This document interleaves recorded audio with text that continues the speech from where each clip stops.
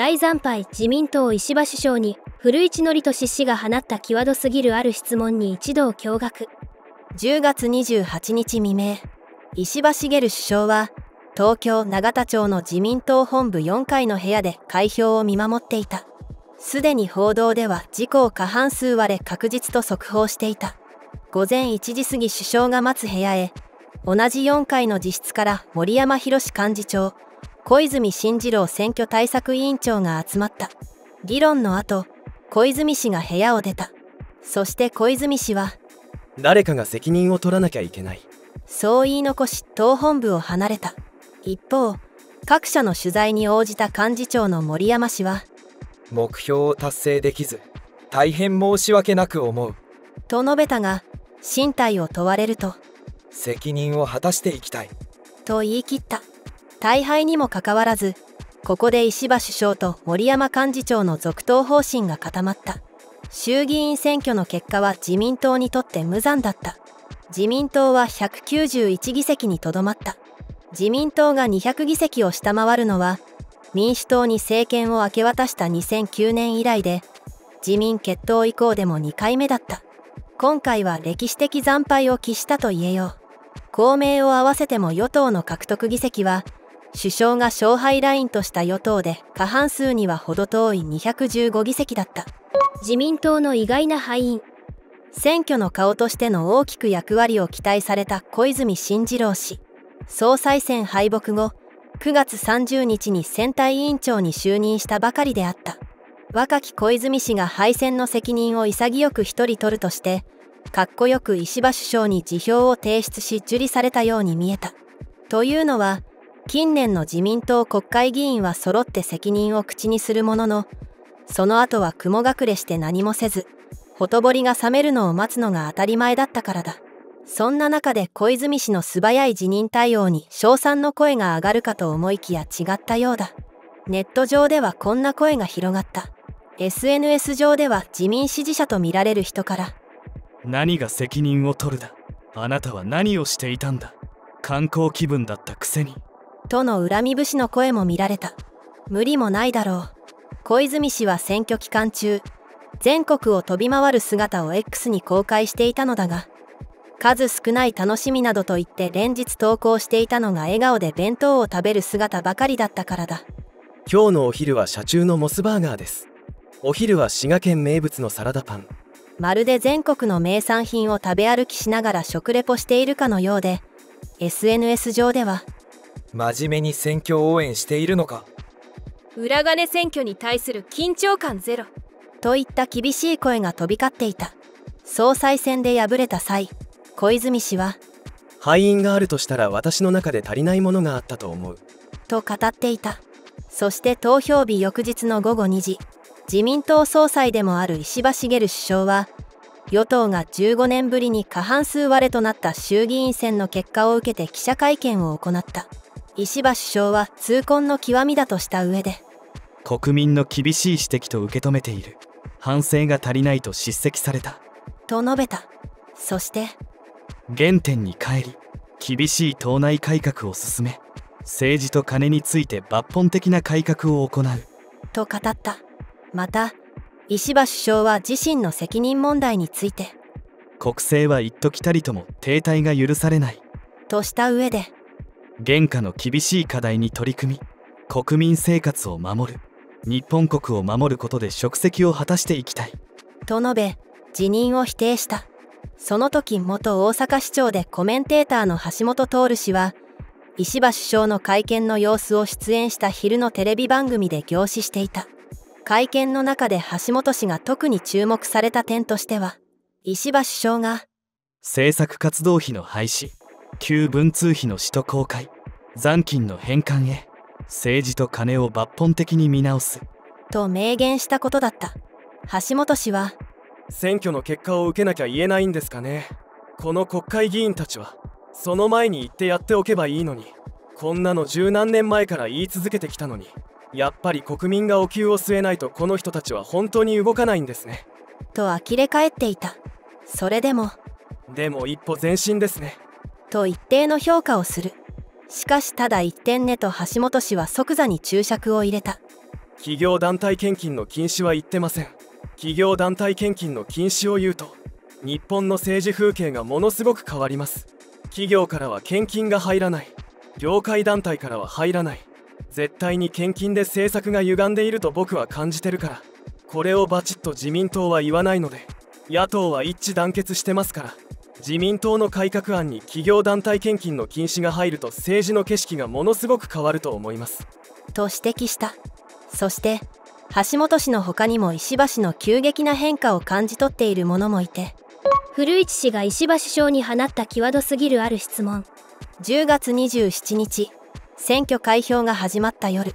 各テレビ局は自民党石破茂総裁とスタジオのゲストとで中継インタビューを行っていた。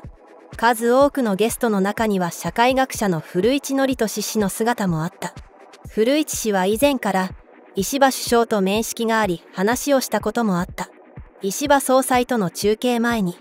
石破さんはキャラ変してしまった。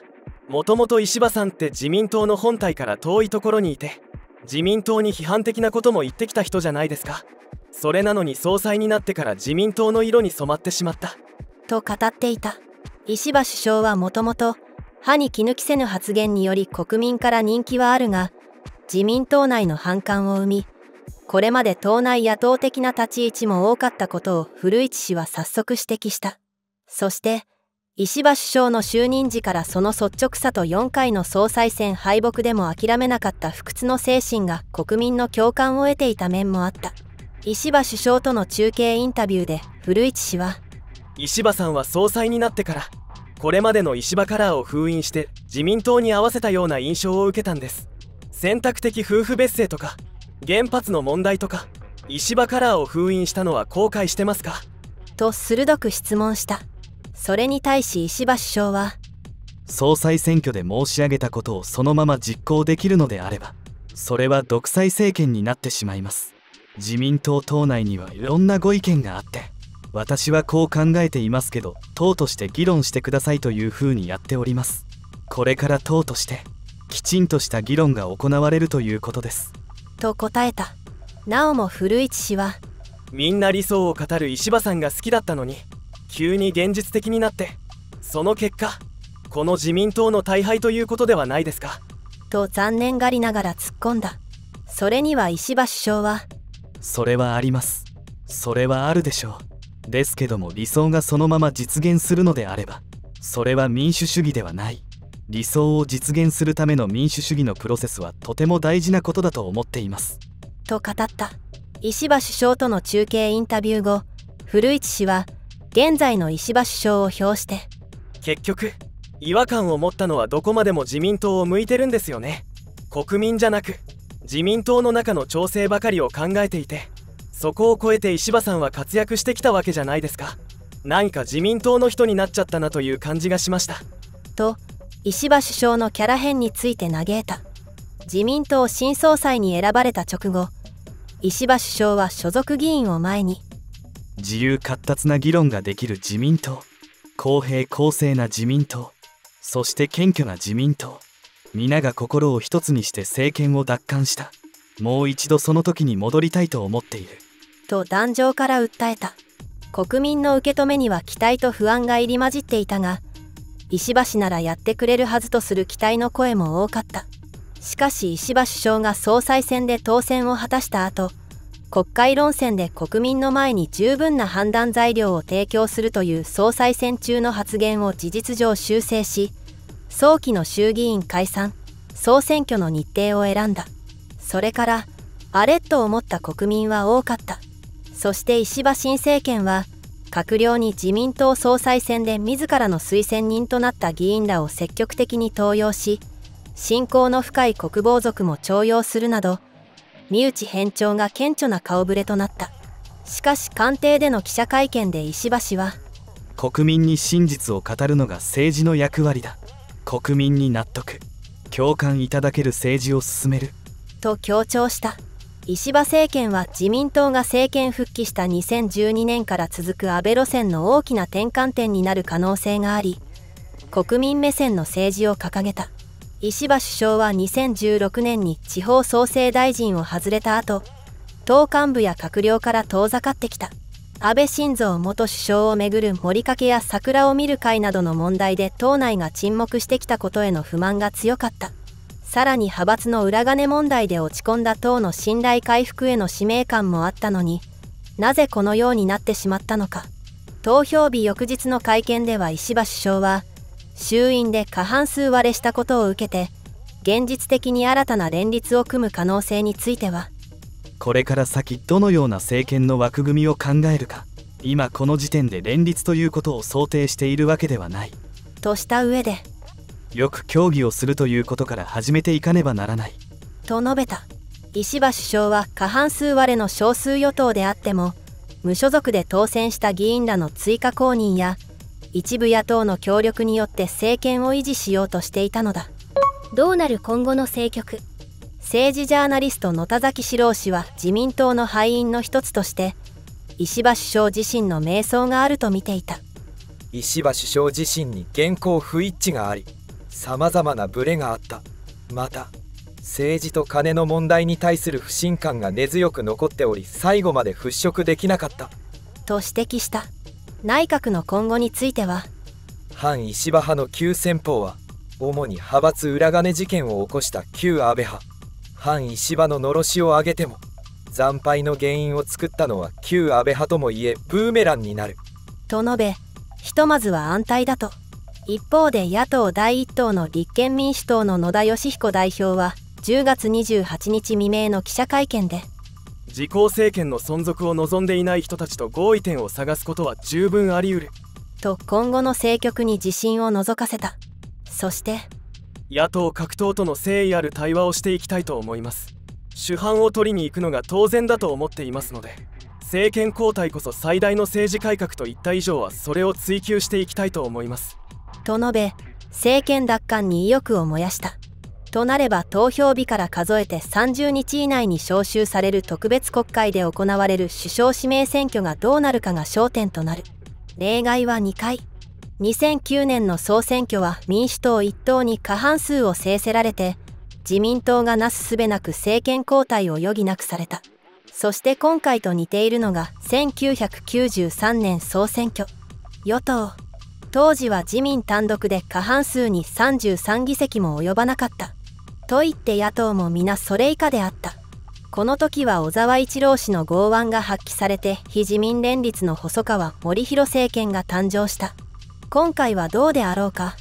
首相指名選挙は衆参ともに行われるとはいえ憲法の規定で最終的に衆議院の議決が優先される。与党石破政権は過半数に足りない18議席埋めをする算段を早速しなければならない。